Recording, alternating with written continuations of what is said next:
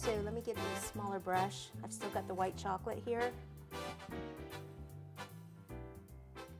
And some buttercream under here. And it's not even a bad idea to actually use um, chocolate under there, which why don't I just do that to show you, just like that, right onto the, the fondant cake. I've even done it on buttercream.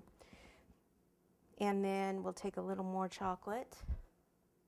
It needs to go like right about here.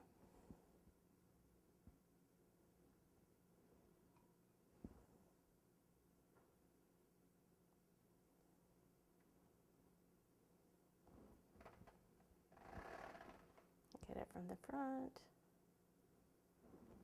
Okay, just like that. And then the other one will go on the other side.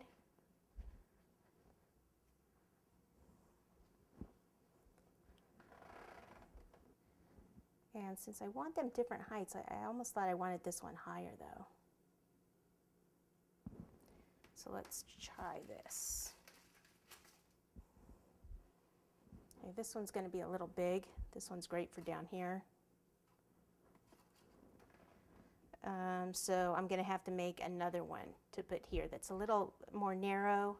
So let's just kind of check this out. If I just do something small like this, like this up here, like this.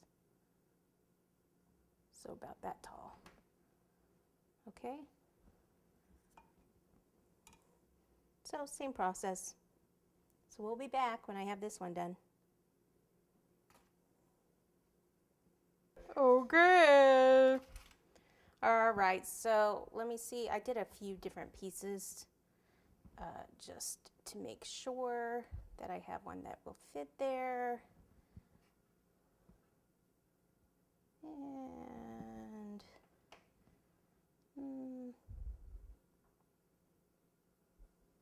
I'm going to do this. So let's take a little more chocolate. Pop it right in there. Okay, like so. And then this one, need a little chocolate down here for sure. And then where it touches the cake, so I'll take the small brush here, little right back there. It looks like I have too much, so let me get some of that off.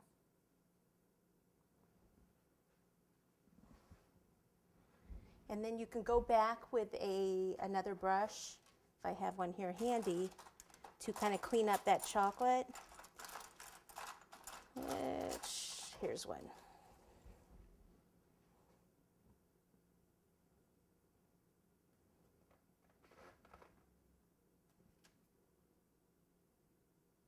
Okay, so both hooks are on. This stuff I'll save for later. This, I just wanted to show you these, how these come out. They came out of the freezer and I let them sit for a minute or two because if you try to unmold them right away, they usually crack. What you do is you push from the back, push up like that. Some of them might break on you. You kind of have to do it slowly on some of these. I've used these a lot, so it seems like when I use them a, a lot, they get, um, they stick a little bit more. So some like this one sometimes will break, but I'll still use it. Oh, it didn't. How about this one? We'll try this one and see if it breaks, but I could still use it. Now, sometimes the legs break off, but you could still use it with only, you know, uh, four of the legs. So I'll just take these out and pop these on my sheet, and then we'll get some fondant, and we'll actually do the little characters first, and then do everything else around them.